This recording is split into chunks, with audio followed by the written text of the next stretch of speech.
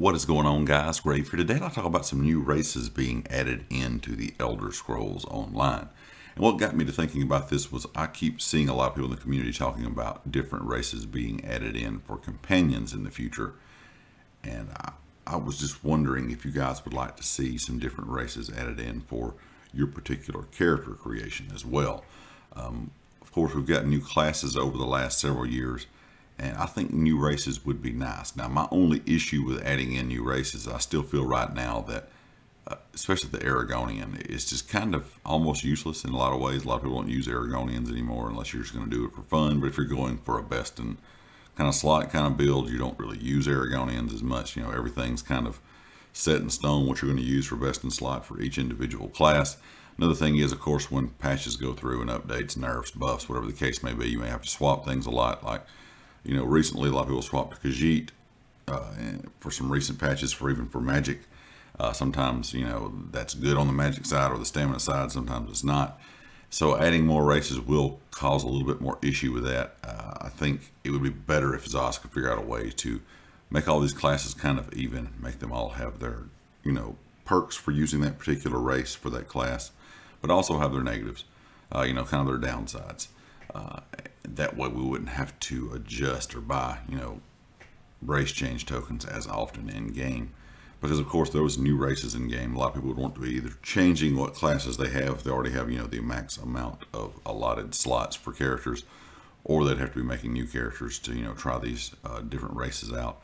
But I've been seeing a lot of people talk about goblins for companions, which I do think was would be neat. I, I hope in the future, if they continue with this companion trend, I know everybody's not a fan of it, but I would at least like to see all the races we have available in game right now be available within the companions we have. But it would be neat if we saw some different races that aren't available in game. Like I said, people have been talking about goblins. Uh, people have been talking about some other things as well, like vampires or werewolves. I know that's not necessarily a race, but I think having some options with those companions would be a really cool idea. But just people talking about different races for companions in general got me to thinking I would like to see some new races added in to the Elder Scrolls Online. I think it would freshen it up a bit for some players out there that have played for a really long time. I'm curious to what kind of races you guys would like to see, so definitely leave me a comment with those thoughts.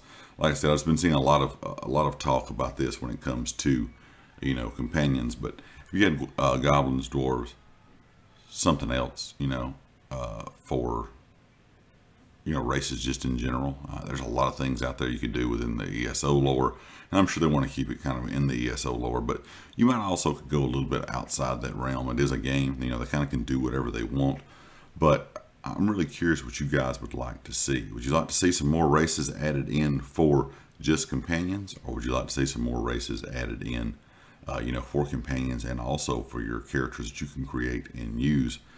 like I said, I think it would freshen up the game a bit. I think if it's just for companions in the future, I'm not sure if a lot of people will absolutely love that. If you're not a fan of companions, that is. If you're a fan of companions, a lot of people are going to like that idea. But I think if you start adding in just new races for companions, a lot of players out there are going to want new races for, you know, something they can use as, as a character as well. Because not everyone, like I said before in past videos, is a fan of companions because they may play PvP or they may only be playing dungeons and trials with friends and groups, and they're not really, they can't really be used in those situations. So leave me a comment with your thoughts. Let me know some new races you'd like to see brought into the game. If you'd like to see some different races for companions, you can leave those uh, ideas down in the comment section below. And of course, if you like the video, hit the like. If you have not subscribed yet, please do so.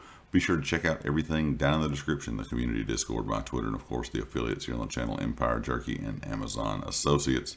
And I'll catch you all next time. Peace.